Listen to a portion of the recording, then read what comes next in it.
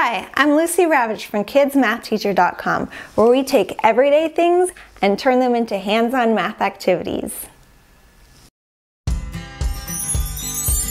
Yay! For today's Math Activity Thursday, we're going to be turning toy cars into fun, hands-on math activities.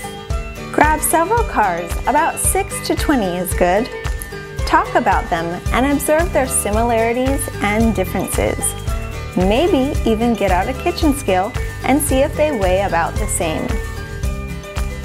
Pause the video if you're ready to do this activity and then come back and we'll compare our results. Here are five different cars we weighed. Which one was the heaviest? Which one was the lightest? Get ready with some tape because we're gonna see our height in toy cars.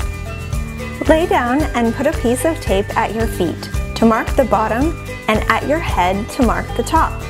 If you have enough cars to put them end to end, you can do that, or take two cars and alternate while you count to see how many cars tall you are. Did you have fun seeing how tall you are in cars? Let us know in the comments below what number you got. Thanks for joining us for today's Math Activity Thursday with toy cars. I hope you'll join us next week and each week as we do Math Activity Thursday. Also, please consider supporting us on Patreon. Patreon.com slash kidsmathteacher, you'll find where you can support us.